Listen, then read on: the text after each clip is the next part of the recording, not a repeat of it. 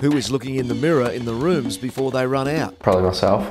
Who thinks they are the best on the punt? Jake McCracken. If you could be a car, what car would you be and why? A Toyota Hilux. They're just reliable.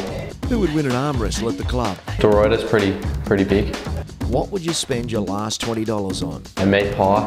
If you had a racehorse, what would you call it? Winx. Dream car and dream holiday. Dream car. Ferrari. Dream holiday. Just travel around the world. Favourite karaoke song? Mr. Brightside. Best sledge you've used or heard? This bloke who has a twin, he said, uh, your brother's ugly.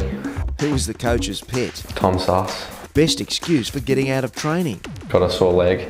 Which teammate secretly loves a rom-com? Probably Matt Kane.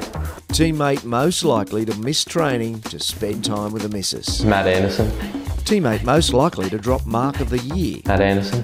Teammate most likely to kick the wrong way? He's still Matt Kane.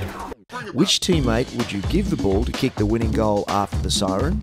And who would you not give it to? I'll, I'd give it to Connor Jacoby, and I wouldn't give it to Matt Kane. Favourite takeaway, fast food, and go-to meal? A zinger box from KFC.